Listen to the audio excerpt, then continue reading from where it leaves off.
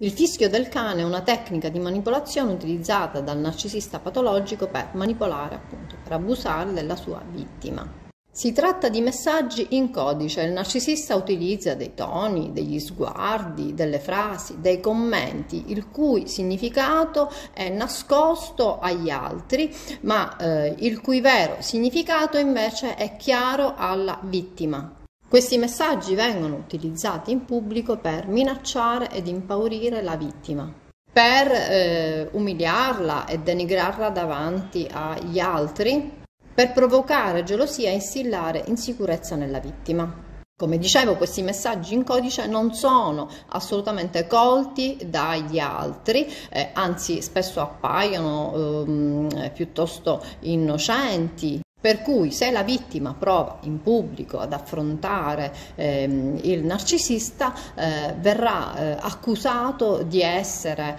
eh, il pazzo, la pazza della situazione e il narcisista apparirà assolutamente innocente.